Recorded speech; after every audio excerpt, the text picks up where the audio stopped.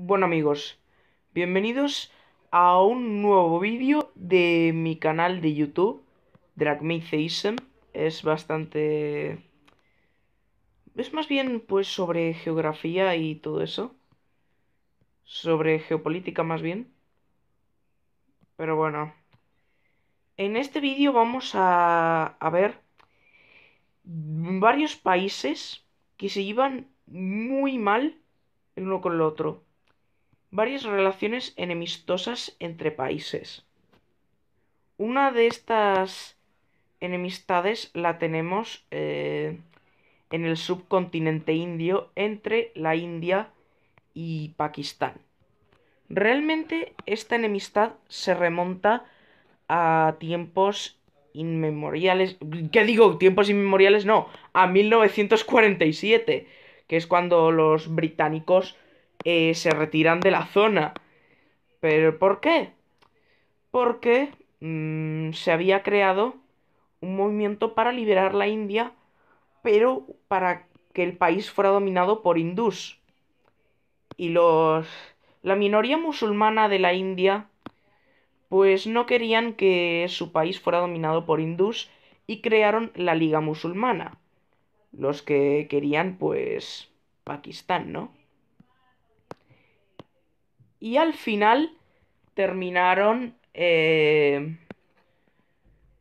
1947 surgió un conflicto por Cachemira, que es esta región de aquí, actualmente repartida entre Pakistán al norte y la India al sur. Un conflicto que no se ha solucionado hasta el día de hoy.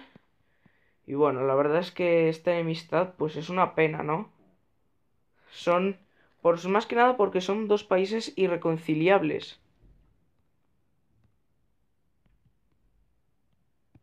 Luego tenemos otra enemistad bastante tremenda. Arabia Saudí contra Irán. Sí, esto es una rivalidad por el Golfo Pérsico, aunque eh, por cuestiones de que obviamente eh, Arabia Saudí eh, no quiere no quiere que el Golfo sea denominado en honor a Persia o Irán, pues suelen llamarlo el Golfo Arábigo. Y bueno, es, es una rivalidad, la verdad que bastante, pero bastante un quebradero de cabeza. Obviamente Estados Unidos apoya a Arabia Saudí eh, más que a Irán, porque digamos que todo ese régimen de los de los ayatolás y esas cosas como que a Estados Unidos le dio mal rollo desde el inicio y desde entonces hay una enemistad entre Arabia Saudita e Irán. y eh, por eso Estados Unidos está del lado de Arabia Saudí, porque el régimen de los ayatolás como que le da mal rollo. No, no puede evitarlo. Luego, otra enemistad que nos pilla muy cerca. Más de lo que creemos. Colombia y Venezuela son enemigos desde... no se sabe desde cuándo, pero son enemigos actualmente aunque bueno, con el, con el ascenso al poder de Gustavo Petro en Colombia, eh, han decidido pues calmarse un poco, pero no sé, me recuerda mucho cuando Estados Unidos y la Unión Soviética eh, se, se decantaban ambos por una política de apaciguamiento, pero la enemistad como que no desaparecía, pues entre Colombia y Venezuela eso es lo que yo creo que va a pasar yo creo que al final, pues, este detente de, de Gustavo Petro con Venezuela, con la Venezuela de Nicolás Maduro, pues no va a funcionar nada, no va a llegar a nada y tendremos, seguiremos teniendo esta guerra fría por décadas. Y la verdad es que supongo que eso es verdad. Esta enemistad eh, es entre Marruecos y Argelia. otra enemistad bastante tremenda. Espera, que, que- me he equivocado de mapa. Me he equivocado de mapa. Ahora sí. Ahora sí. No olvidemos que España, pues ahora reconoce el Sáhara Occidental como marroquí. ¿Por qué? Porque eh, la otra opción es un gobierno títere de Argelia. Obviamente España... La verdad es que España quedaba mal apoyando a Argelia eh, al reconocer el Sáhara Occidental, porque Marruecos es un aliado de Estados Unidos. Y se supone que España... eh, Estados Unidos está más cerca de España que de Marruecos, porque España es un miembro de la OTAN. Entonces, como miembro de la OTAN que además apoya a Ucrania, pues quedábamos muy mal apoyando a Argelia, que es un país prorruso desde su independencia hace 60 años. Entonces, pues por eso cambiamos de bando, porque digamos que quedaba muy hipócrita que apoyáramos a Argelia, eh, sabiendo que, pues por lo dicho anteriormente, tienen intereses muy opuestos a los que nosotros deberíamos tener. Y de hecho, desde, desde abril de 2022, si no me equivoco, desde abril, eh, pues nos hemos pasado al bando correcto, hemos corregido nuestro rumbo. Obviamente, pues Marruecos al inicio como que no como que no se fiaba al inicio de que de verdad estábamos cambiando de bando de Argelia a Marruecos. Y bueno, pero bueno, ahora sí que se fían de nosotros y somos panas. Somos panacotas contra Argelia, que es nuestro el verdadero enemigo de España en el sur.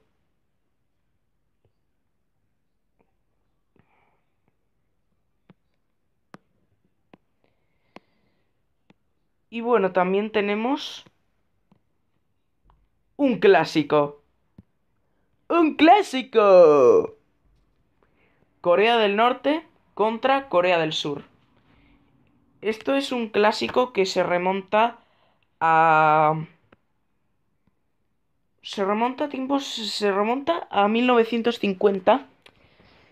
eh, cuando, bueno, Corea había sido dividida entre la Unión Soviética que se quedó con el norte y Estados Unidos que se quedó con el sur.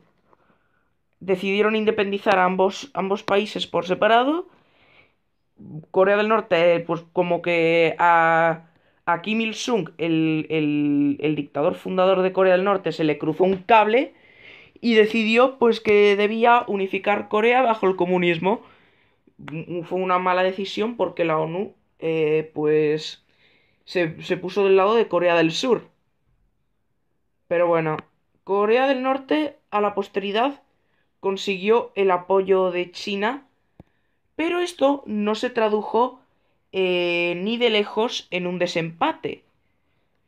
De hecho, pues la guerra quedó empatada, acabaron poniéndole pausa en 1953 y desde entonces ahí se ha quedado.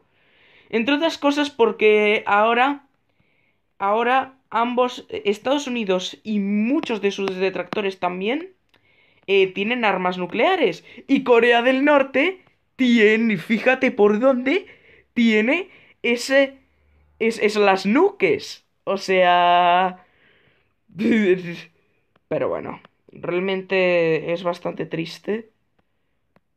Porque Corea del Norte, la verdad es que es bastante, es comunismo, pero con esteroides.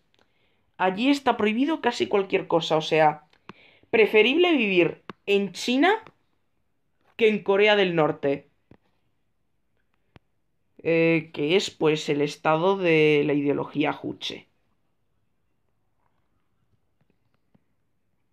Y la verdad es que, bueno, y un y una no tan antigua, no tan antigua, la enemistad entre Rusia y Ucrania. Que realmente la enemistad como tal entre Rusia y Ucrania eh, surge porque en Ucrania, sobre todo en el sur, hay algunos que son rusófonos, que hablan el ruso. Entonces, pues Ucrania apostó por integrarlos poco a poco. Pero uno de esos rusófonos terminó siendo el presidente de Ucrania, Víctor Yanukovych, no nos olvidemos de él, no nos olvidemos de Yanukovych, por favor. Y bueno, tuvieron que derrocarlo porque estaba adoptando medidas para una tiranía al estilo de Putin. Y, pues bueno, ahí, pues los rusófonos, lejos de abstenerse de todo eso y simplemente dejar que Ucrania tuviera sus problemas, aprovecharon para patearle el estómago y escupirle en la cara, rebeliones en el Donbass, y bueno, obviamente, pues Rusia terminó usando ese pretexto para atacar, para conquistar Crimea primero en 2014 y en 2022 después invadir de lleno el país cosaco el país de los cosacorrutenos. Y la verdad es que... La verdad es que me parece bastante injusto. Yo apoyo a Ucrania porque me parece bastante injusto que los rusos eh, se, se, hayan metido con un país que realmente eh, no les ha hecho nada. Es más, por un momento estuvo de su lado. Pero bueno, mm, cosas raras que ocurren a menudo. Eh, suele ocurrir que una gran potencia, por el simple hecho de ser gran potencia, cree que eso le da derecho a abusar de su autoridad. La verdad es que eso es bastante triste. Y la verdad es que no sé cuál más detalle. ¡Ah, claro! sí, sí, sí. Me he venido arriba, lo siento. China y Taiwán. Todo sucede. Taiwán. Eh, la independencia de Taiwán se remonta a 1949. Cuando unos exiliados de la madre patria china decidieron refugiarse en la isla de Formosa. ¿Ok? Entonces, pues como que... Y, de hecho Taiwán sigue usando signos de símbolos de la China nacionalista, la misma bandera de la China nacionalista y hasta el mismo nombre oficial que tenía la China nacionalista, República de China. Eh, no, eh, esta, la, la China comunista de hoy en día no se llama República de China, se llama República Popular China. Entonces, pues, la verdad es que Taiwán es bastante masoca, creyéndose la verdadera China, viniéndose arriba. La verdad es que el país más relevante que, que reconoce a Taiwán lo reconoce como. reconoce a Taipei como el gobierno legítimo de China. Y es Paraguay. Sí, el que tiene un meme de que no existe. la verdad es que pues bueno, Taiwán se está quedando sin reconocimiento internacional, aunque bueno, si... En 2020, recordaréis, os sonará Taiwán porque en verano de 2022 se armó una tremenda polémica porque Nancy Pelosi decidió visitar eh, la isla de Formosa. Obviamente, pues esto al gobierno comunista de China no le gustó nada decidieron que decirle a Estados Unidos, si juegas con fuego te vas a quemar. Aunque lo cierto es que no solo Estados Unidos, China también está jugando con fuego. Bueno, la verdad es que, aunque Estados Unidos reconoce a Pekín como el gobierno legítimo de China, eh, apoya a Taiwán. Apoya a Taiwán. La verdad es que ambos ambos están jugando con fuego y... Y no importa cuál se queme primero, si se quema uno de ellos, nos quemamos todos. O sea... Si a China, si a... Si al Winnie de Purreturbio se le, se le cruza un cable y decide que es su momento de brillar en Taipei, que es momento de que el sol rojo eh, brille en el cielo de Taipei, eh, digamos que. Digamos que eso va a provocar eh, un no muy bien. no muy buen final que digamos. Esta es la enemistad entre países más peligrosa. La que yo considero más peligrosa. Bueno, estas han sido las enemistades del día de hoy.